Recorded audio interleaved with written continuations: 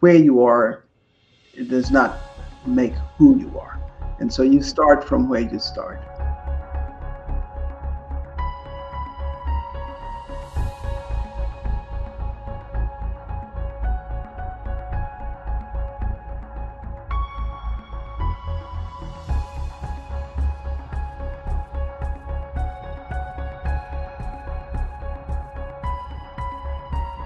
I mean, at MIT, it wasn't always uh, friendly. No one would sit next to me sometimes and in front of me.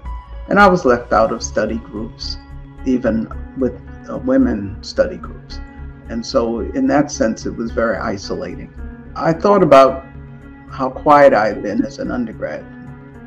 And I felt there was something that I needed to do and should do at MIT to get more uh, African American and minority students in and to make it more hospitable.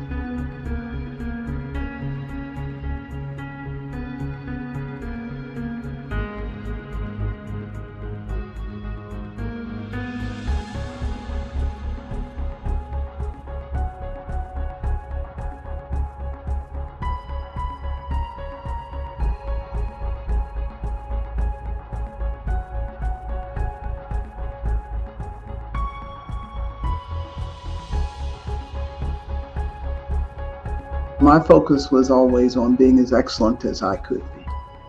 And and that's how I've lived my life. But to me, it's about being able to walk so you can carry someone else.